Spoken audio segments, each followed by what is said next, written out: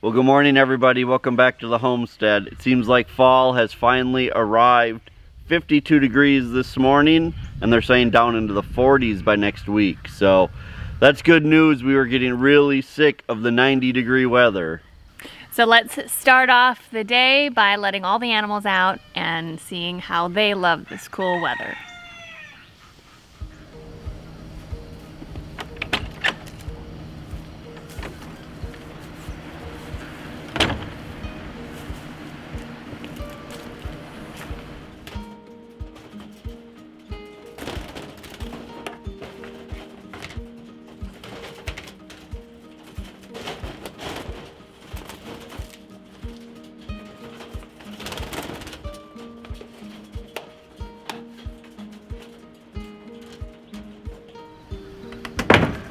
Haven't given you guys a lot of updates on the quail over the summer. I do obviously still have them, but it's been a hard summer for the quail. It has been so hot here, and being that they're inside, even though I keep a fan on them, it has been really rough. I actually lost about five or six of them over the summer due to the heat. And so really I've just been maintaining them. I haven't really hatched any out over the summer uh, which was a real bummer. Uh, but now that the weather's starting to cool down, I'm hoping to do it some more. Um, I'll be honest, I'm also just not real happy with having to raise them in cages indoors like that. So I'm starting to get my brain going about other ways that we can do quail because I do enjoy having them. Uh, but I just don't feel like this is necessarily the best way to be raising them. So I'm trying to come up with something that I think will be even better. So I'll keep you guys updated as I go along and we'll see where it goes. For now, let's feed the chickens.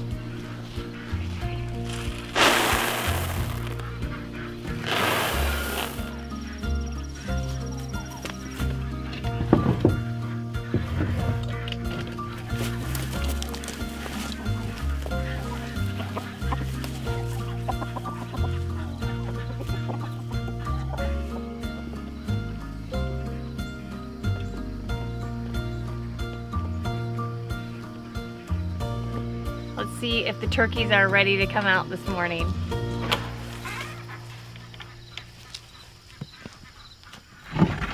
Good morning, turkeys. Can you fit? One at a time. One at a time.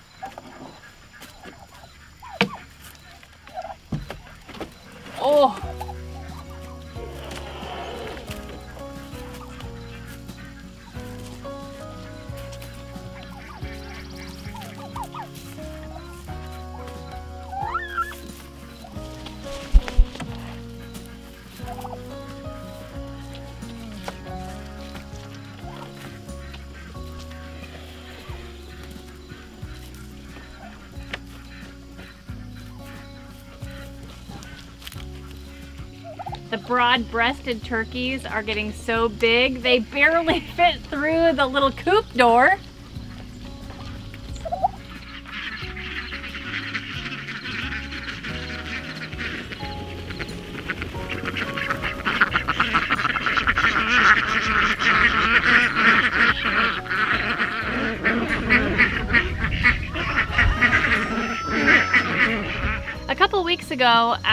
Youngest female goat, Annabelle, started escaping from the electric fenced area that they have. So we made a hard decision to sell her. We just recently found a new owner for her, so Annabelle will be going to her new home early next week. Until then, we have Annabelle and her mom Rory in a separate fenced in area, actually where the boys normally are just until we can uh, get Annabelle to a new area and then Rory will go back in the electric fenced area. Hopefully she'll remember that it's electrified or we have another big problem on our hands. Anyway, that's why I have two goats in a separate area right now. And we think Annabelle is gonna have a great new home. Well, you may notice that the trailer for the pigs is gone. We're down to just two pigs now, Pee-wee and Penny. The pig that we were calling Big Mama, we took to the butcher earlier this week for the customer who purchased her. She was a great looking pig. It went so well loading her in the trailer.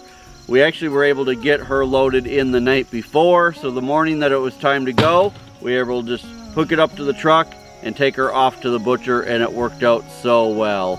We didn't get that recorded because we loaded her up after dark, so uh, but it went really well and we'll definitely be doing it that way again in the future if we need to take more pigs to the butcher. Now the ones that we keep for ourselves, we process those right here on the farm. Sarah and I do those ourselves, so there's no need to transport them. We do feel like that is the best way to do it so that there's not much stress on the pigs at all.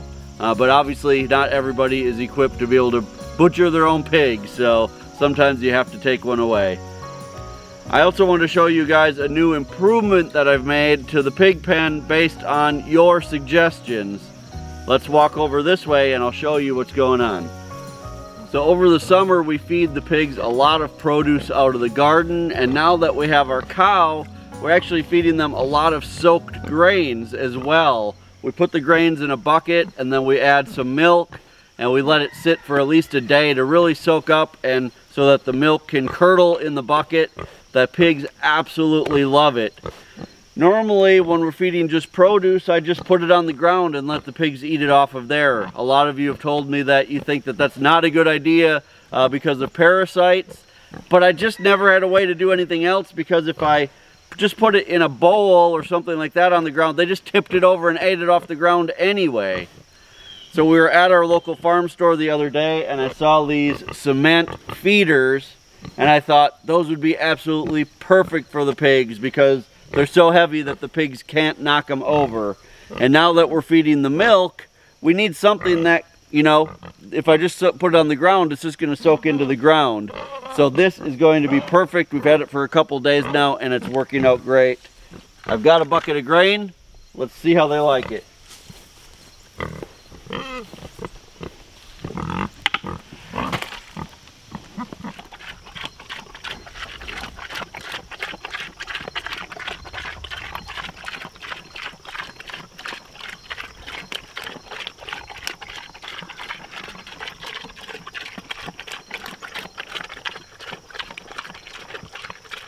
Well, I would say that that's a winner. I think that this is to be a great long-term investment for all the pigs that we raise in the future too because they're just so strong. You just can't use things that you would use for other animals because they're just so big. So this is going to be awesome.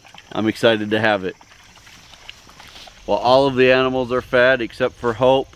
She still needs her morning grain so we can get her milked. She is so patient with us in the morning. She just waits for us to come out and get ready to milk her out.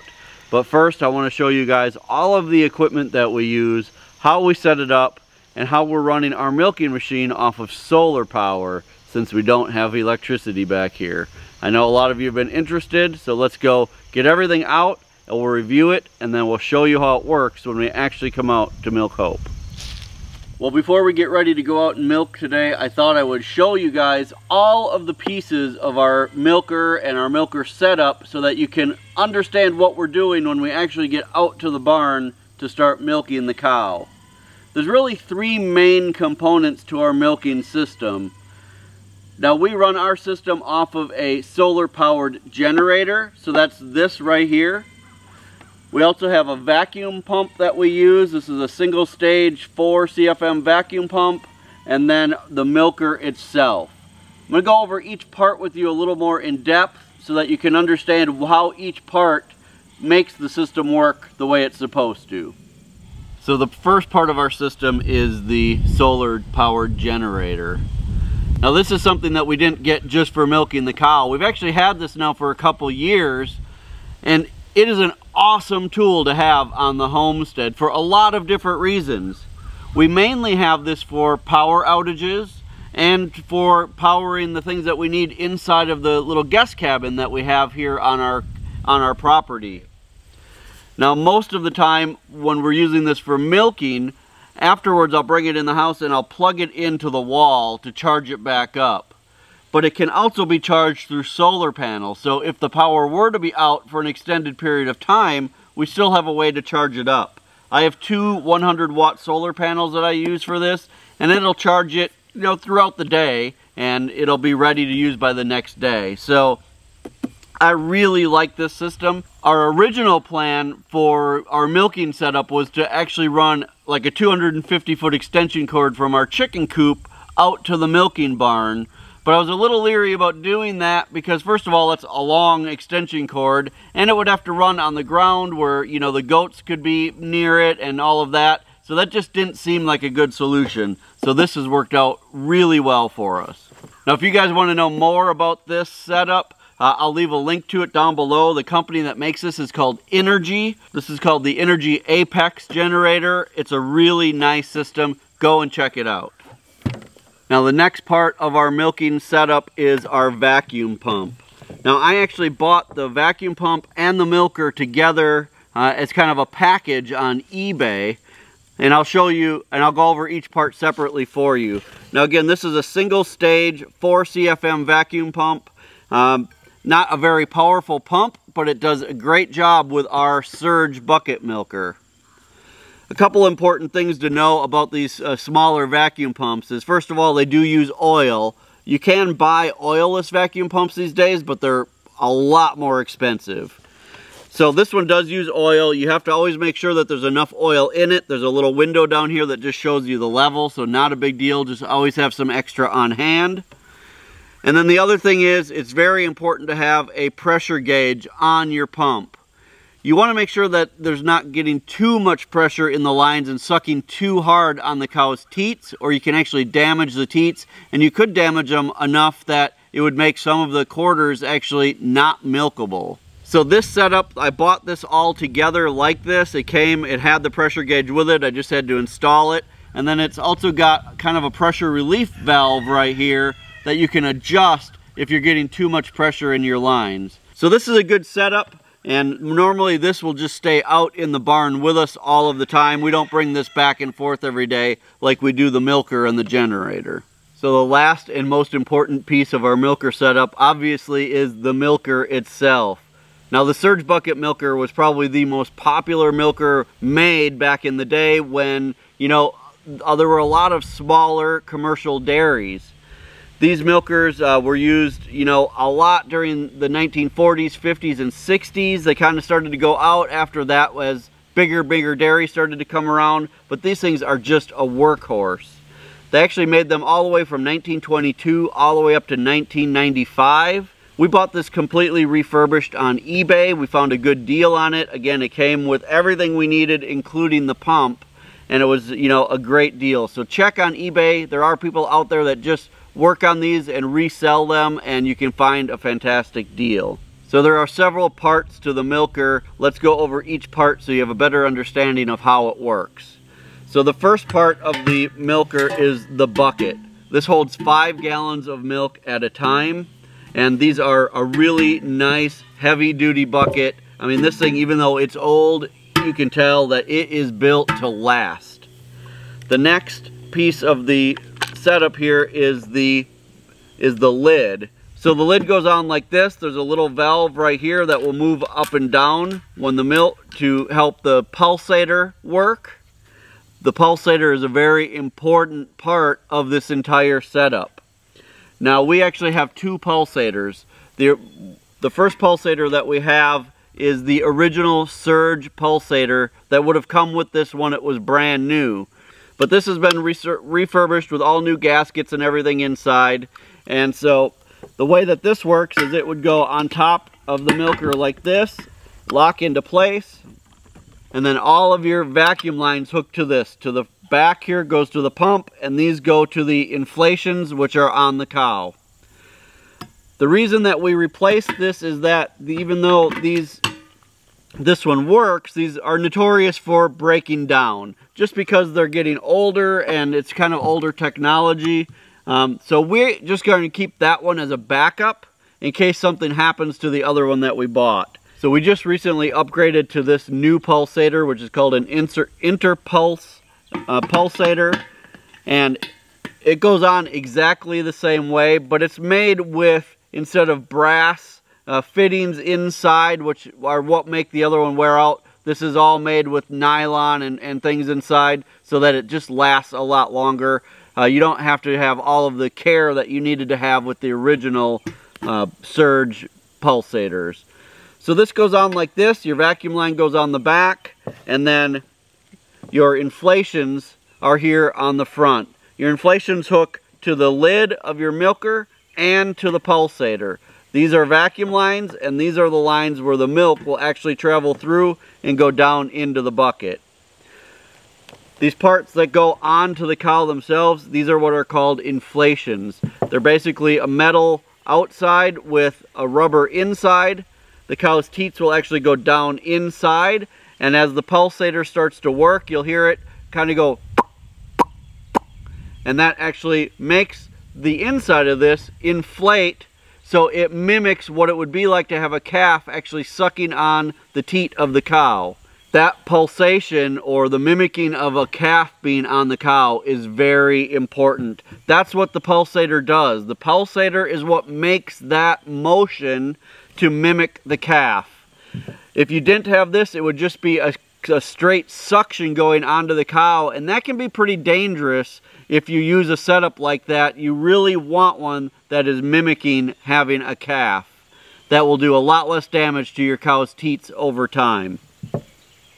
Right now, we only use two inflations at a time. We milk the two back quarters on our cow, and then when those are done, we move them up and we milk the two front quarters. When you buy a setup like this, it will come with all four. And if you would like to, you can you can milk all four quarters at one time. We choose not to do that because it seems less cumbersome to just do two at a time and it works just fine for us. So we're going to gather all of this up, put it in our garden cart that we use to haul it out to the milking barn, and then we're going to get ready to show you guys exactly how all of this works on the cow. Now when we go into milk, before I bring all of the equipment in, we actually lock the goats up on the other side of our paddock here. We have this cross fence, so it's two separate areas. Goats just want to jump on everything and be in the way. So while we're milking, we need to be able to concentrate on what we're doing and keep our equipment clean. So we always keep them on the other side until we're done.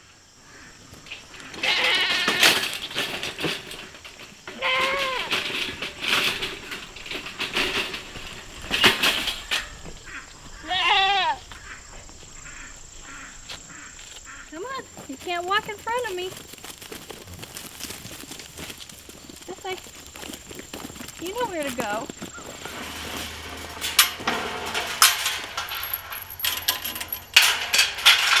Sometimes they eat and then run right back up here and I have to hurry to make sure they stay over there. So once we've got everything out here, the first thing that I do when I get out here is I plug in our pump. In the morning when we milk, it's already light out. So that's all I have to do is plug in the pump. At night when we milk, it's usually already dark or pretty close to dark. So I've also installed an LED shop light in here and the generator that will actually run that as well.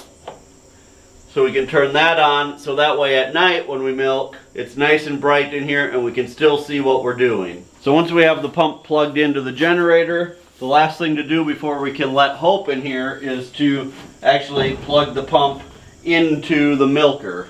So the this is the way we normally just leave the pump out here all the time.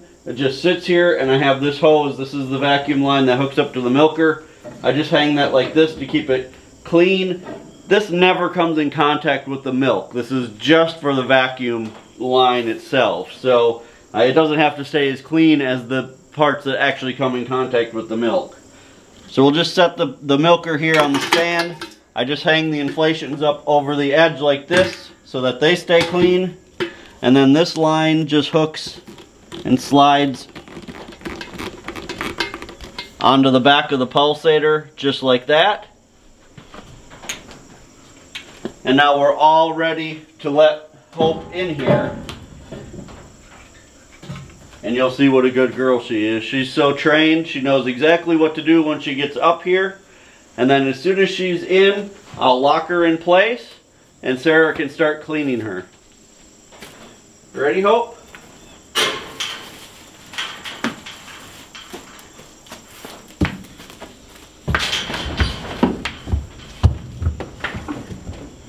Good girl. And just put this over like this. And now she's locked into place. She can move around, she just can't back up and leave. Before we can start milking, I need to wash her teats and the, this part of her udder here to make sure everything's clean when we're milking. I just use a solution of a natural dish soap and a little bit of bleach and just a couple of rags. I make sure to wash each teat really well to make sure they're nice and clean. Sometimes overnight she has laid down in some yucky stuff, so sometimes it's pretty dirty. I just need to take my time and make sure everything is done really nicely and so that everything is safe. Now that she's all cleaned up, I'm just gonna squirt a little bit of milk out of each teat just to get any old milk or any bacteria out of there. And so that won't go into our milking bucket. She is ready to be milked. She's really letting down, so let's get going. All right, so I just set the milker there on the stand. We'll turn on the pump.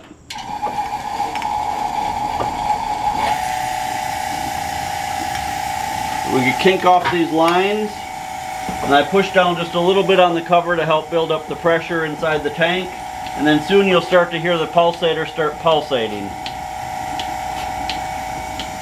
Once you hear that, you know it's ready to put the inflations on to the cow. So we just milk two, two sides, uh, or two teats at a time. So we start with the back because they take the longest because they have the most milk. We'll put one on there.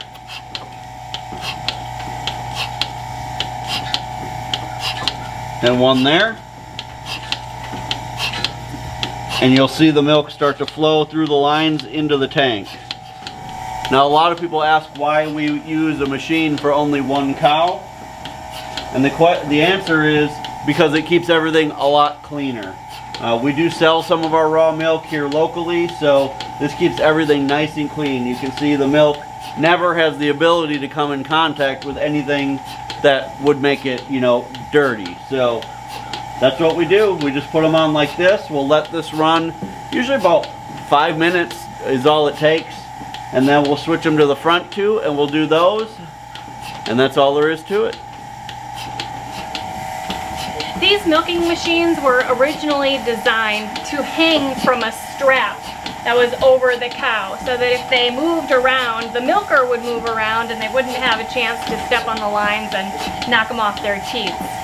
These days, a lot of people, including us, are just using it the way that we're doing now. Um, it just works well for us, and I don't know, we just like it this way. Maybe someday we'll try the straps, but for now, this is working well. We know that she's milked out on uh, some of the quarters when the milk stops coming out, and when there are wrinkles starting to form in the bottom of her teeth, or in the bottom of her udder here.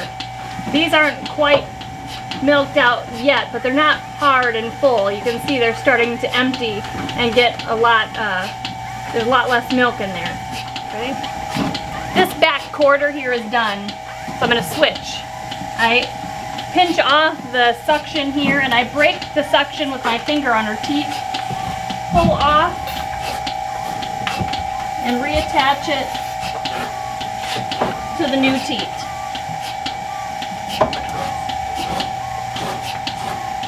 I'll do the same thing with this one now.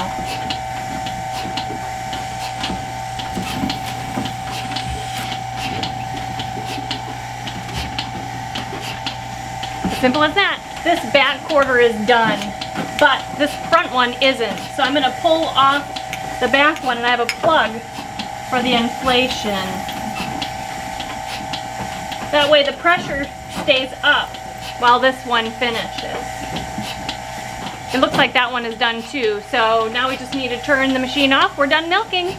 So once we're all done and the pump is off, the first thing that I do before we do anything with Hope is we just disconnect the, the milker and I take it back out, put it right on our cart to get it ready to take back inside. Oftentimes if she's going to pee or poop, it's during this time, right after we get done milking. So I want to make sure this stuff is out of the way, doesn't get any splash on it. The last thing that we do is we use a teat dip with her. This will uh, prevent any bacteria from getting up inside there and will actually coat the outside with kind of a lotion, an emollient. Now research recently has shown that you shouldn't actually strip out anything else that's in those teats because you could actually be introducing bacteria up into there. So we're just using the teat dip and that should keep everything safe and sterile until next time. We have to get her out before she goes to the bathroom. Good job, thank you. What a good girl. Careful. There you go.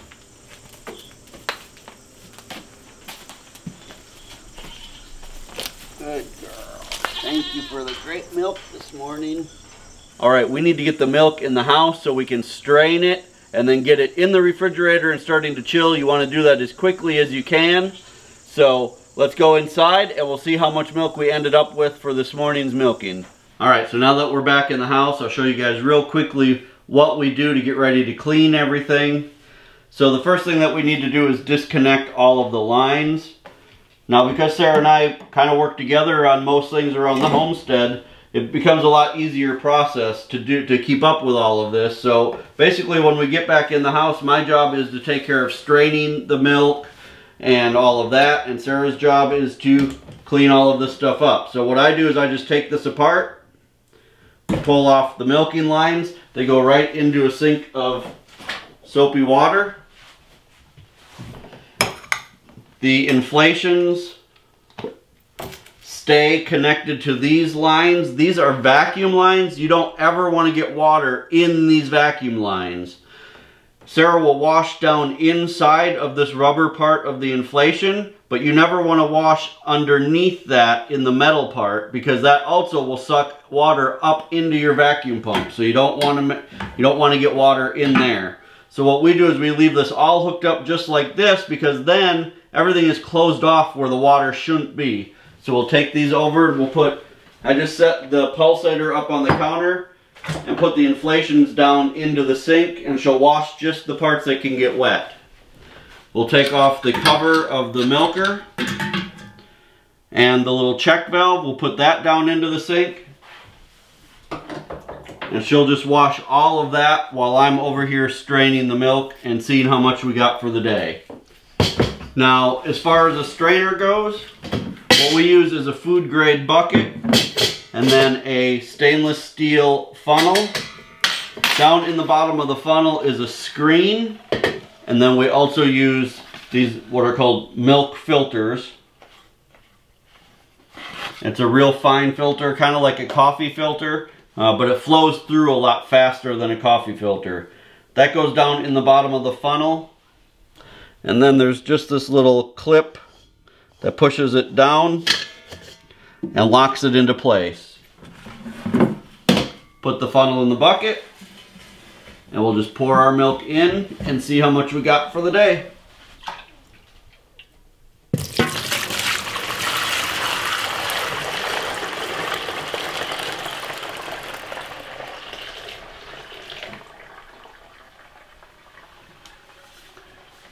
Now that filter will get out if there were any, you know, small hairs or particles of dirt, anything like that. There shouldn't be any of that using a milker because it's a closed system, but every once in a while you might find a stray hair or something in there. But all in all, this is a very clean system compared to hand milking into just an open bucket. After all of the milk has run through the filter, I take the funnel and I set it back over into the milker like this. And then once all of the kind of bubbles go away on the filter, we'll inspect that and just make sure that there's nothing that looks out of, you know, normal on there. That could be a sign of mastitis in the cow, uh, but we've never seen anything like that. So now that we've got all of our milk in the bucket, it's time to start putting it into half gallon jars.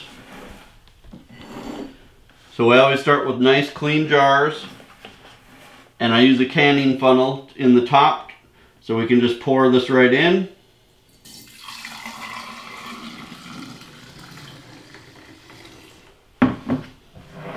We'll see how much we got for the day. Typically, she produces more, you know, our morning milking is the bigger milking. because it's been a little bit longer, we don't exactly go exactly 12 hours in between milking, so.